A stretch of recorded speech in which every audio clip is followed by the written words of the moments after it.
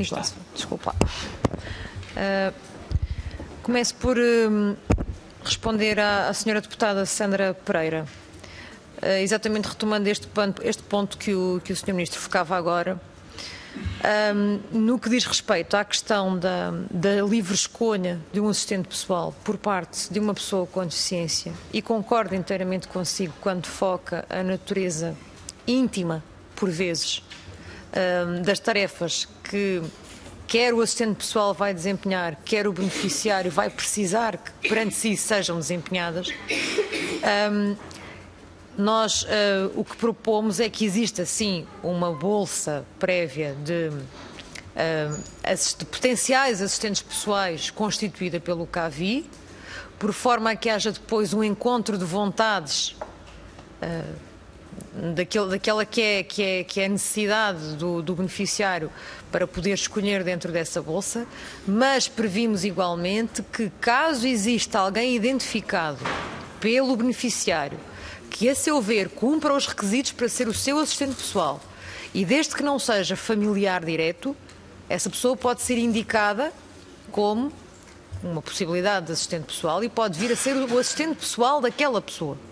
Não há nada que o, que o impeça. Só impede que seja familiar direto. Isso não. Um, depois, uh, relativamente uh, à questão do, dos, dos CAVI, um, eu queria explicar aqui que eu preciso que é preciso que percebam que de facto nós estamos aqui a lidar com projetos piloto. Nós não estamos a apresentar aqui a solução final. E como qualquer projeto piloto, ele, ele, é lançado e tem bases próprias exatamente porque não conhecemos a realidade no seu todo. E a verdade é que ninguém conhece. Ninguém conhece. E uh, estes, projetos, estes projetos pilotos ajudar-nos-ão exatamente aí, a perceber de que é que estamos a falar e de que potencial número de beneficiários ou de requerentes deste apoio podemos estar a falar.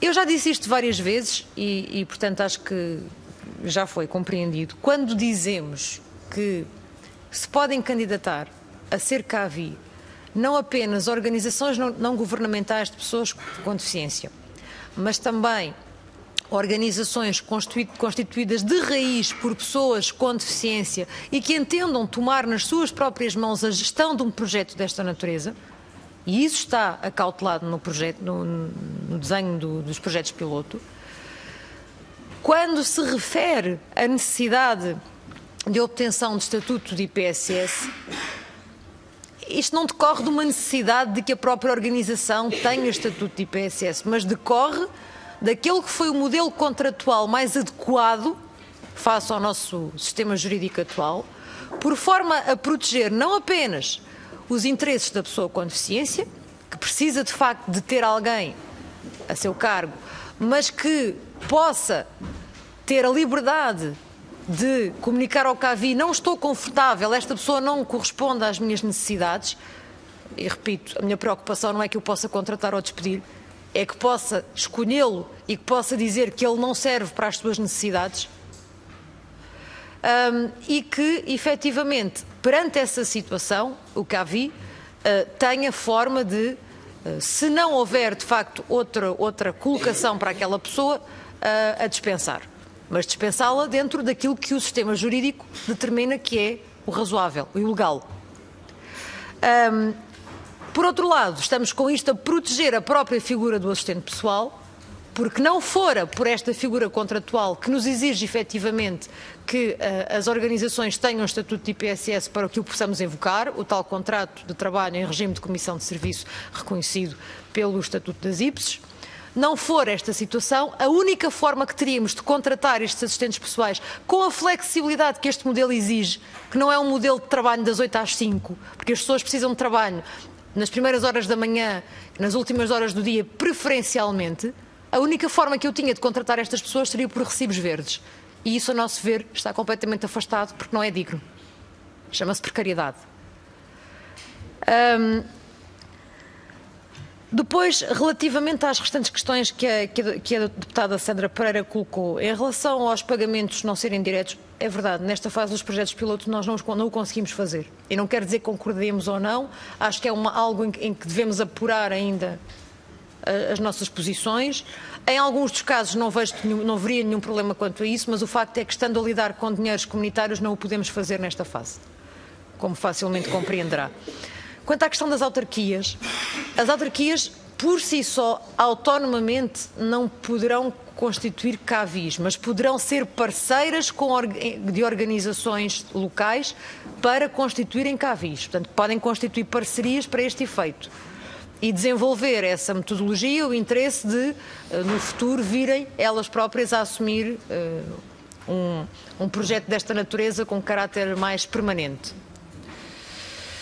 Um, quanto à questão que colocou relativamente à prestação social e à questão dos valores mais relevantes só estarem disponíveis em 2019, eu permita-me discordar, eu, eu, entendo e penso que é, que é de facto esta a nossa posição global enquanto governo que nós estamos a disponibilizar um valor de uma componente base que vai até aos 264 euros este ano.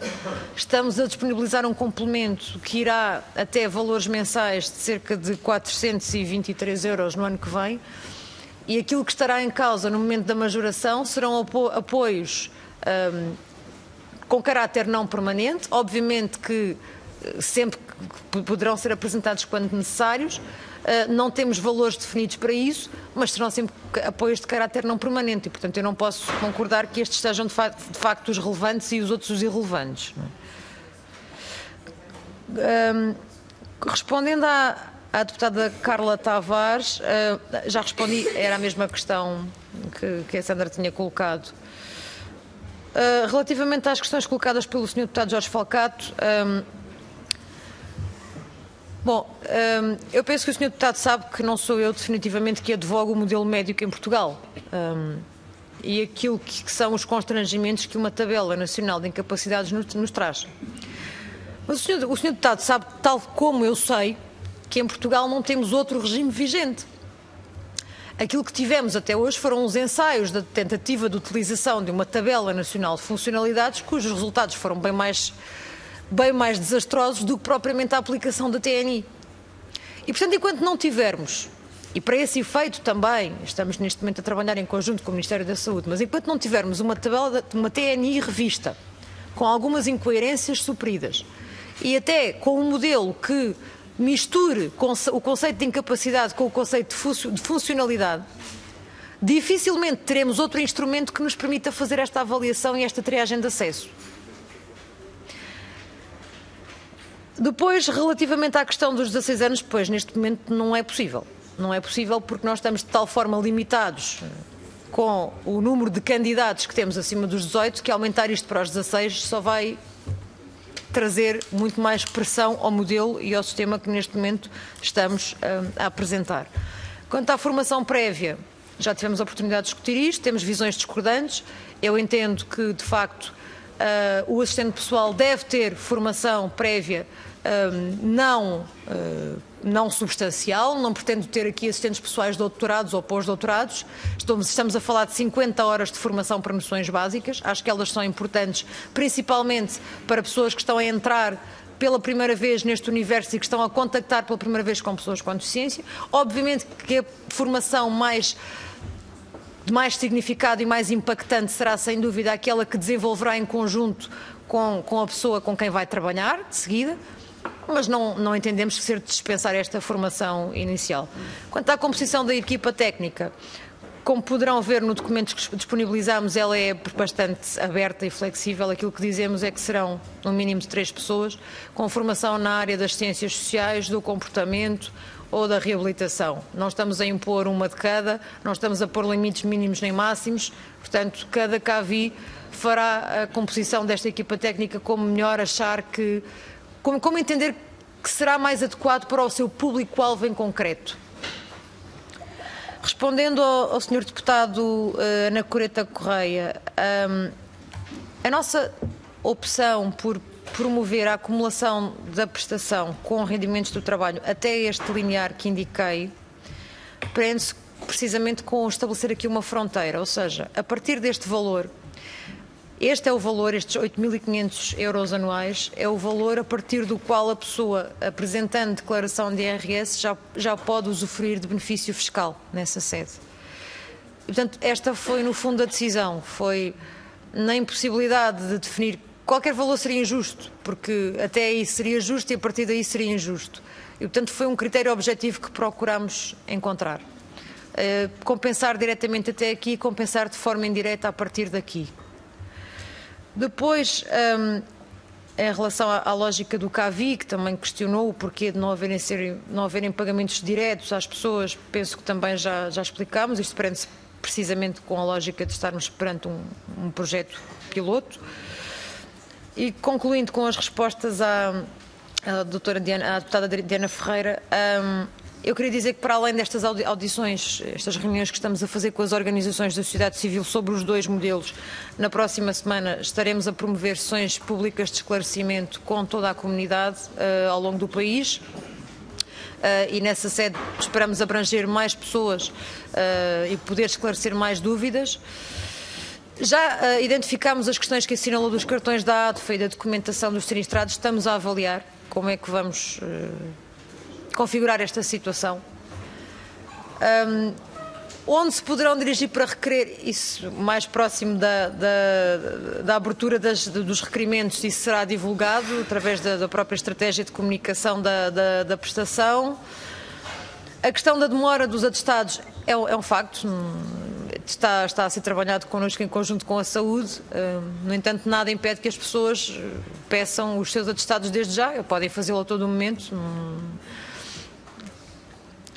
E respondendo à sua questão em concreto sobre a questão do, sobre a situação das pessoas que têm graus de incapacidade entre 60% e 79% e que não têm rendimentos do trabalho, se oferem da totalidade da componente base, se não têm rendimentos do trabalho, certamente vão oferir da totalidade da componente base poderão uh, vir a oferir em 2018 do complemento em função da composição específica do seu agregado familiar.